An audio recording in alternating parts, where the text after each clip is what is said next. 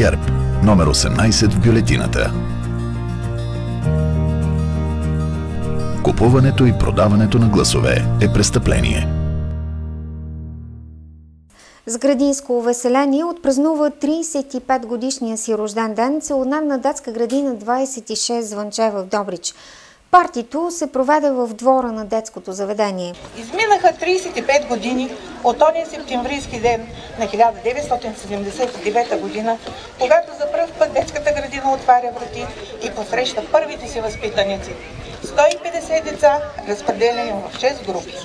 За 35 години съществуване вече можем да говорим за история. Но какво е историята на една детска градина? Тя не е просто изброяване на дати и години, а е повествование за достоинство и всеодайност.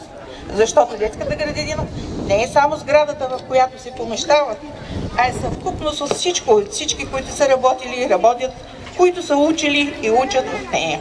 Малките палавници показаха на учените танци, песни гимнастически умения пред най-благодатната публика, своите родители и близки. В синхрон с мотото на празника 35 години обич, смях и игри, денят ще запомнят всички участници, организатори родители с настроение и много смях.